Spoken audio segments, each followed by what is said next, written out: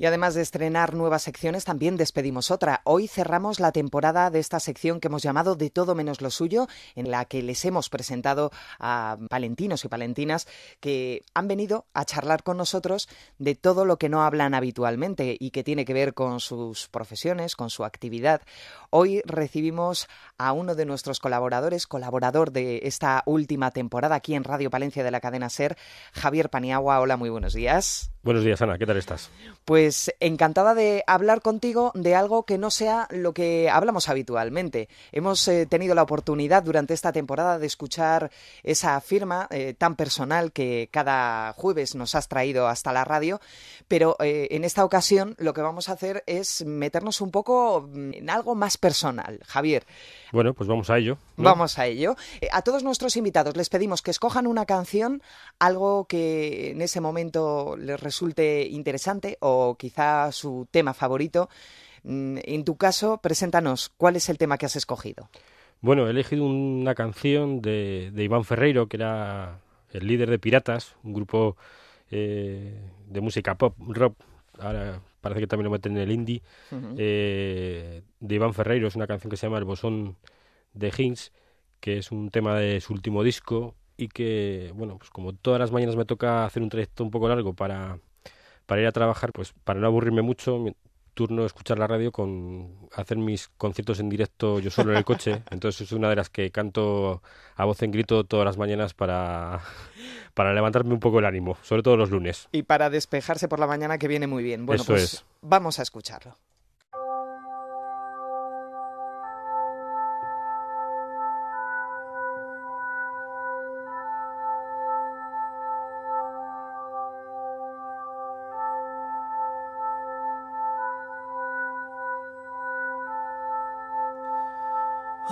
Es el día más largo en el valle Miñor. Cada destello en la costa y el cielo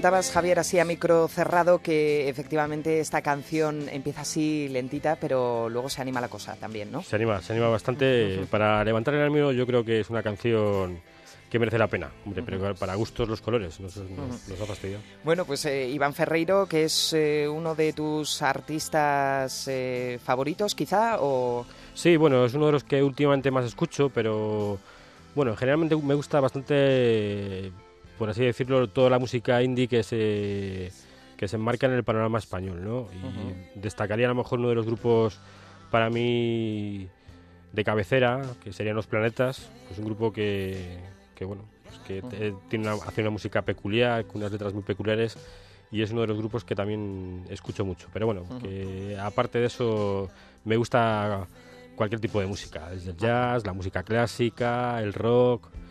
Bueno, no tolero los eh, los éxitos estos de, de verano, por ejemplo, es algo que no, no soporto. Las modas eh, pasajeras, bueno, pues eh, ya te digo, me gusta casi toda la música.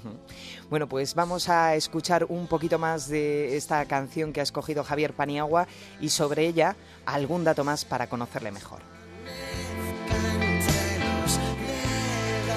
Javier Paniagua nació en Palencia el 1 de febrero de 1970 y creció en el barrio de San Juanillo. Estudió en el Instituto Virgen de la Calle. Después, tras titularse como técnico de actividades socioculturales, vivió en Madrid seis años donde trabajó en diferentes entidades de carácter social y organizaciones no gubernamentales dedicadas a infancia, juventud, educación en tiempo libre o cooperación internacional. Al volver a Palencia estudió educación social en la Universidad de Valladolid en el campus de la Yutera. Ha estado vinculado al Colegio de Educadores Sociales de Castilla y León y también fue secretario general del Consejo de Educadores a nivel estatal. Actualmente trabaja en la Asociación Cultural Colectivo Tierra de Campos, en Medina de Río Seco como coordinador de programas sociales y también es autor del blog Desde el Otero, en el que desarrolla artículos de opinión sociopolítica. Y después de escuchar la música que le gusta a Javier Paniagua, vamos con otra vertiente de sus gustos, con la lectura, la literatura. ¿Cuál es tu libro favorito, Javier? Bueno, libros eh, habría muchos por elegir, porque además últimamente sí que estoy devorando bastante literatura de todo tipo, ¿eh? pero sobre todo aparte de novelas o sobre todo también lecturas sobre política.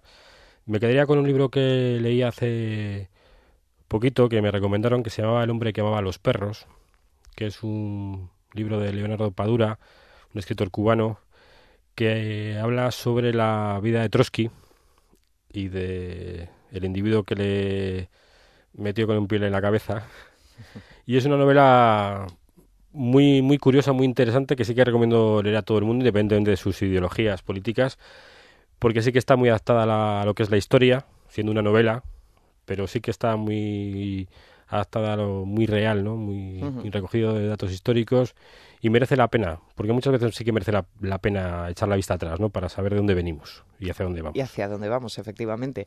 Eh, vamos con más gustos. El cine. Eh, ¿Ves cine habitualmente, Javier? Pues eh, no. Antes de tener hijos, sí que veía cine. Iba bastante al cine porque me gustaba mucho ir al cine.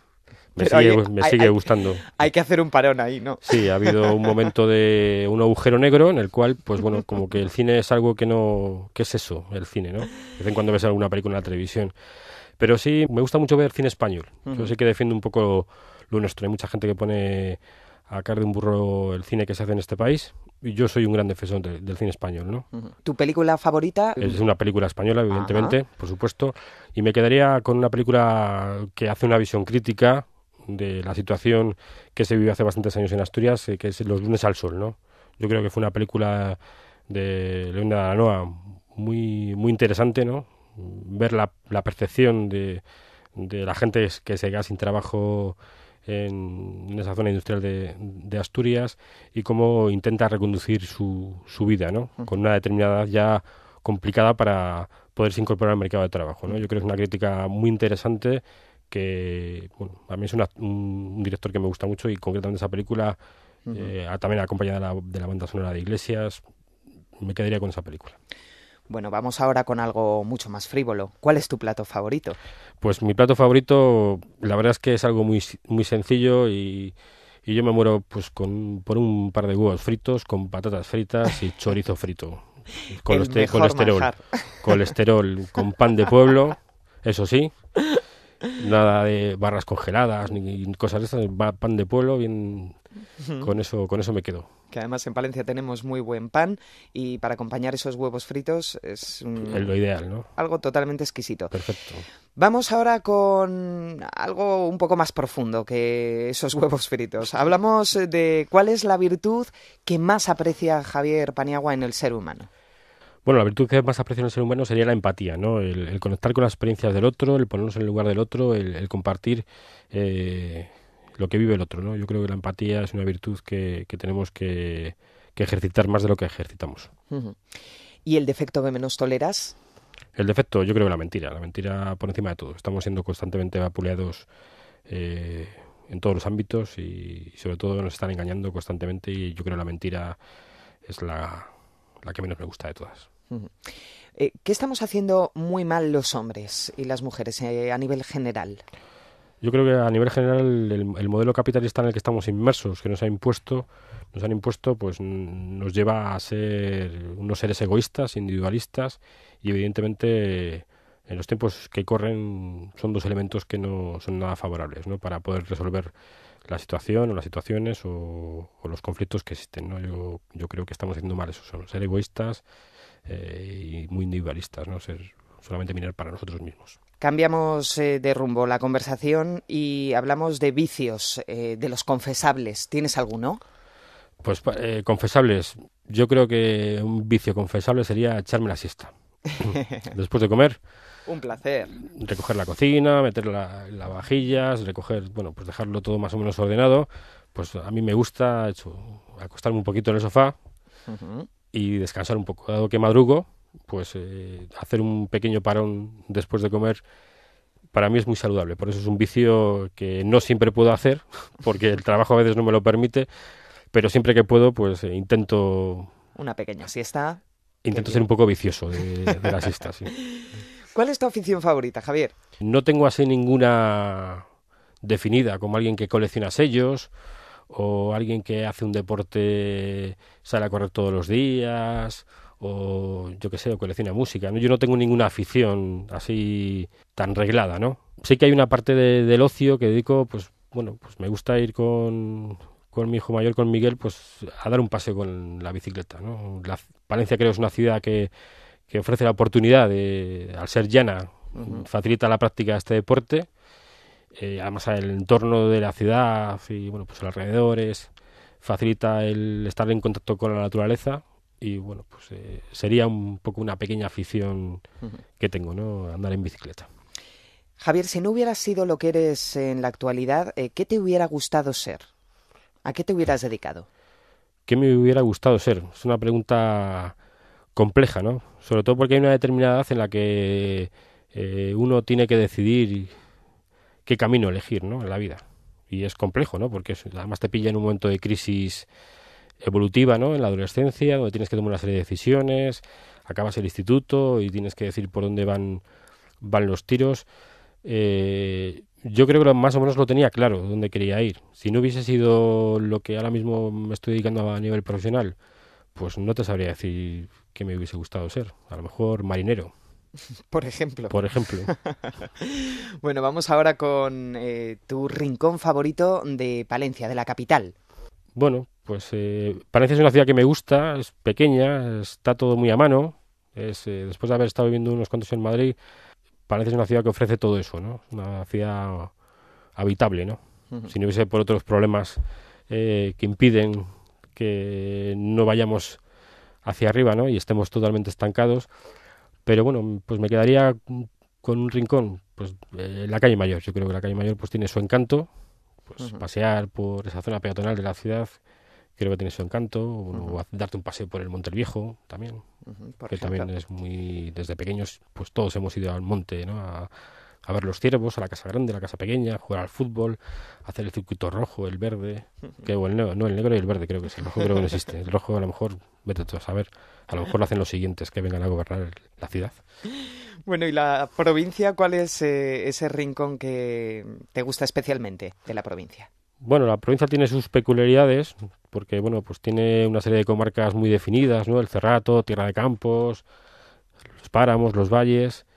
Me quedaría con la montaña palentina. Yo creo que la montaña palentina, palentina seduce a cualquiera que sea de Palencia o no sea de Palencia. Y bueno, pues eh, cualquier oportunidad que hay de, de poderla visitar, cualquier rincón de, de esa zona de, de la provincia, creo que merece la pena. Así que me quedaría sin duda alguna con la montaña palentina, con cualquier rincón.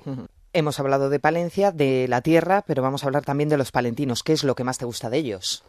Hombre, yo creo que somos eh, gente acogedora, sobre todo al, al foráneo, al que viene de fuera, creo que acogemos de una forma eh, importante, ¿no? En ese sentido creo que somos buenos anfitriones. Me quedaría con esa, destacar eso. ¿Y lo que menos te gusta? Que somos eh, poco desobedientes. Creo que tenemos que ser más desobedientes y no estar constantemente agachando la cabeza, resignados con el futuro que tiene esta ciudad. Y yo creo que no- me quedaría en eso, ¿no? que somos demasiado, nos resignamos demasiado a, a lo que tenemos, ¿no? Es con la frase esa de es que es lo que hay. Bueno, ¿cómo que es lo que hay? Somos que- poco luchadores, entonces. Sí, yo creo que somos poco nada luchadores, salvo pocos colectivos de la ciudad que sí que son reivindicativos y defienden y tal, pero generalmente somos muy poca gente, gente echada para adelante, ¿no? Para luchar, para reivindicar, para exigir, para demostrar que estamos ahí, ¿no? Yo creo que ahí me quedaría con eso, ¿no? Que somos debemos ser más luchadores. Para terminar, Javier, mm, siempre preguntamos a nuestros invitados, ¿cómo te gustaría que te recordaran las generaciones eh, futuras, las generaciones posteriores? Bueno, pues si dejo algo de huella a, a las futuras generaciones, pues yo creo que el- me gustaría que me recordase como buena gente, ¿no? Pues que era una buena persona, buena gente, que intentaba llevarse bien con todo el mundo, aunque siempre no, eso a veces es imposible, ¿no? No llevarte bien con todo el mundo, pero recordarme como, un- sí, eso, como una buena persona, buena gente, pues alguien que pasó por allí y bueno, pues que... Y que hizo buenas cosas. y que hizo buenas cosas. Trató, por lo menos trató de hacerlas, ¿no? De hacer lo mejor, lo, lo que mejor pudo y, supo hacerlas. Pues nos ha encantado, Javier, conocerte un poquito mejor. Gracias a este cuestionario al que sometemos a nuestros invitados. Ha sido un placer tenerte no solo en esta entrevista, sino también durante toda esta última temporada aquí en Radio Palencia con esa firma y nos volveremos a encontrar en cualquier sitio de la ciudad, quizá en la calle Mayor, ese rincón eh, favorito de Javier Paniagua. Lo dicho, muchísimas gracias por tu colaboración. Pues nada, muchísimas gracias a ti, Ana, especialmente y a la cadena SER de Palencia por, por, bueno, pues por darme la oportunidad durante este, estas, estas temporadas de, de estar colaborando en este espacio semanal, que para mí ha sido un ejercicio de aprendizaje muy, muy intenso, porque era todas las semanas. y nada, daros las gracias otra vez de nuevo. Muchísimas gracias. Gracias a ti. Feliz verano, Javier. Igualmente, Ana.